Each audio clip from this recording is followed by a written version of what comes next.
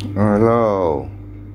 Hôm nay à, Bạch Dân đi dự cái lễ à, đón nhận à, bằng à, di tích à, văn hóa của à, cấp tỉnh tại chùa Gạch Dòng à, huyện Thái Bình xã Hồ Thị Kỷ tỉnh Cà Mau.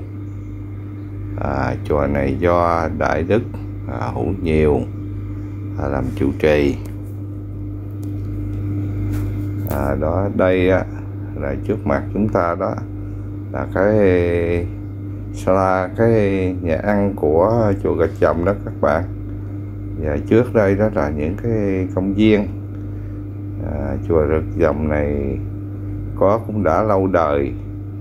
À, đến ngày hôm nay được nhà nước công nhận à, khu di tích. Đây là cái nhà mát à, che để chi tăng à, nghỉ ngơi chắc chưa đó. Còn đây đó là à, cái à, khuôn viên của chùa rất là rộng. À, các bạn thấy coi chùa à, cây cối rồi cũng xanh tươi à, cũng bóng mát rất thơ mộng.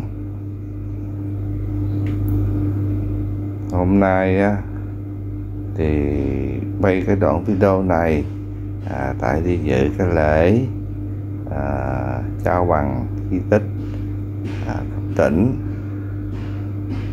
đó đây trước mặt của chúng ta đó là cái tượng đài của Đức Phật à, Bổn Sư Thích Ca Mâu Ni.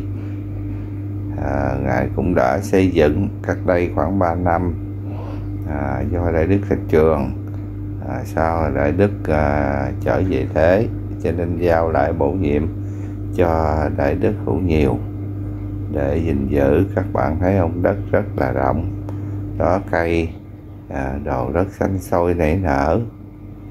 À, nơi chùa gạch dòng này à, cũng là một cái đặc điểm căn cứ cách mạng à, của những cái thời kỳ kháng chiến chống Mỹ chống Pháp à, của à, Cà Mau chúng ta đó. Cho nên à, hôm nay thì được nhà nước à, công nhận à, là cái khu di tích. Cho nên bữa nay là ngày à, à, Tết à, dân tộc cổ truyền. Cho nên à, nước trao bằng.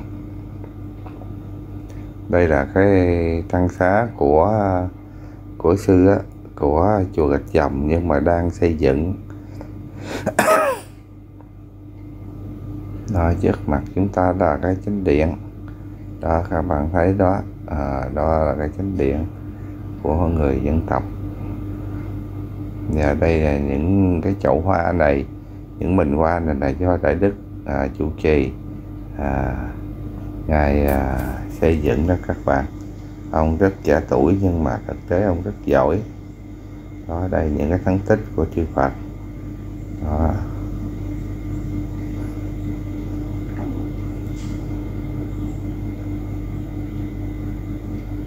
đó đây là những cái nơi thắng tích của chư Phật đó các bạn. Đó trước đó trước mặt đó là cái.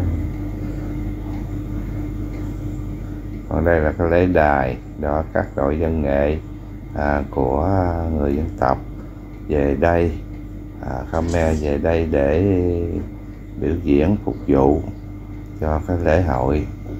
À, mừng à, ngày đón nhận à, bằng di tích.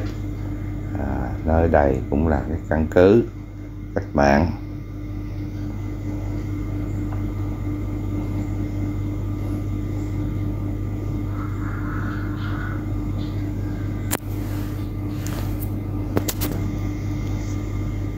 Hồi xưa chạy à, chùa này cũng trải ra nhiều đời chủ trì đó các bạn. Và cũng à, à, nuôi dưỡng à, cách mạng à, để à, cuộc kháng chiến chống Mỹ.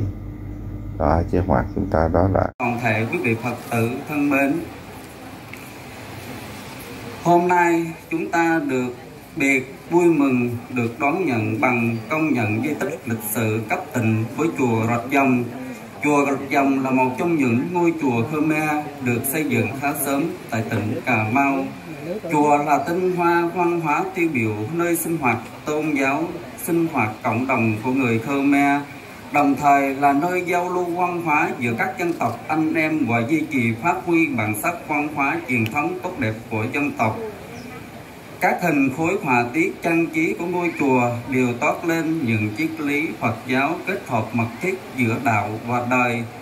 Qua hai cuộc cuộc kháng chiến vệ vất, chùa đã làm tròn nhiệm vụ giữ đạo và đời, đồng thời cũng làm hậu phương vững chắc là nơi tuyên truyền phổ biến các chủ trương đường lối của đảng chính sách pháp luật của nhà nước điều đồng bào phật tử khmer tạo ra những nét độc đáo riêng cho ngôi chùa cũng là điểm sáng cho phật tử quê hương thới bình cà mau.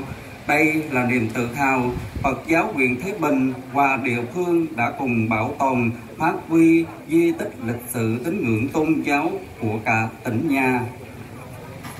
Hôm nay, một di tích lịch sử vô giá mà ông cha ta đã sáng tạo, đã bồi đắp, đã gìn giữ, đã cha truyền lại cho con cháu bằng trí lực, mồ hôi và cả xương máu được vinh danh, được cam kết sẽ tiếp tục tỏ sáng trong dòng chảy văn minh nhân loại. Thay mặt Phật giáo nói chung và chùa Rạch Dòng nói riêng, chúng tôi xin cảm tạ các cấp chính quyền, Phật giáo và chư tăng tín đồ Phật tử các đồng bào dân tộc tại chung sức bảo tồn phát huy di tích chứa đựng những giá trị văn minh hết sức sâu sắc và độc đáo này. Thưa quý vị, hôm nay chùa Rạch Dòng làm lệ công nhận di tích lịch sử văn hóa cấp tỉnh. Buổi lễ rất long trọng trang nghiêm trong bầu không khí tốt đẹp này. Phần lớn là nhờ vào sự quan lâm chư tôn hòa thượng thượng tọa đại đức tăng ni và sự hiện diện của đảng chính quyền các cấp các ngành giúp cho buổi lễ tràn đầy niềm vui an lành và thanh tịnh Việc thực hành tín ngưỡng chùa Rạch Dòng được vinh danh là di tích lịch sử cấp tỉnh đại diện của Phật giáo và niềm vinh dự tự hào khẳng định những giá trị và đóng góp của Phật giáo Việt Nam đối với nền di tích chung của nhân loại. Cùng với nền vinh dự đó là trách nhiệm phải bảo tồn, phát huy di tích tốt hơn trách nhiệm không chỉ với tăng sĩ chùa Rạch Dòng mà còn là với nền văn hóa tỉnh Cà Mau. Trách nhiệm không chỉ của Phật giáo mà mong rằng nhà nước cũng chung tay xây dựng duy trì bảo tồn mà đặc biệt quan trọng là của cả cộng đồng, nhất là những người thực hành truyền dạy tín ngưỡng.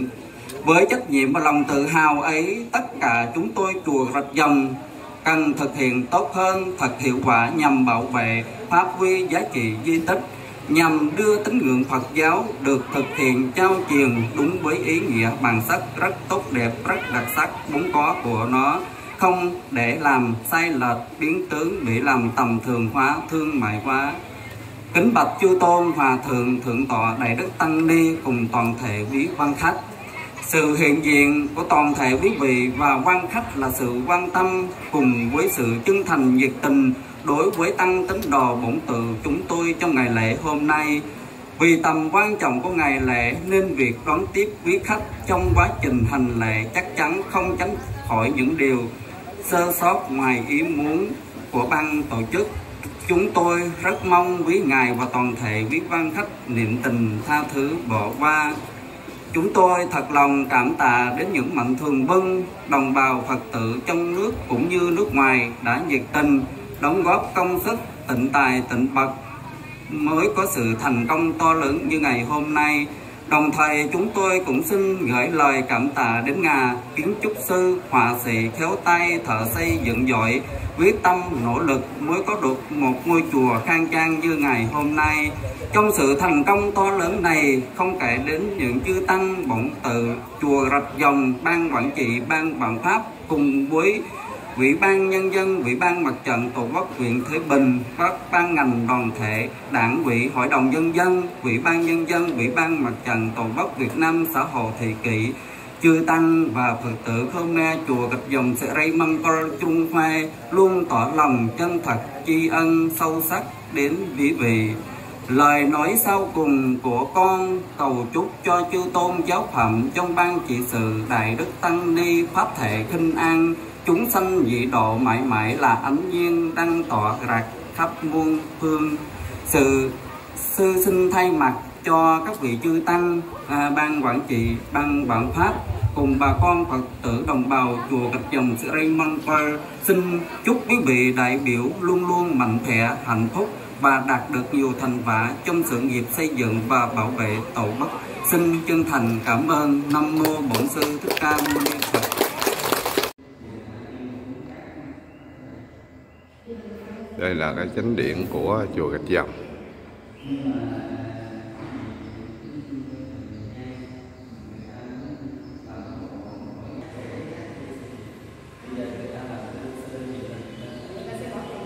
Đó là ông à, à, chư cả đó chủ trì chùa gạch dòng à, đại đức hữu nhiều.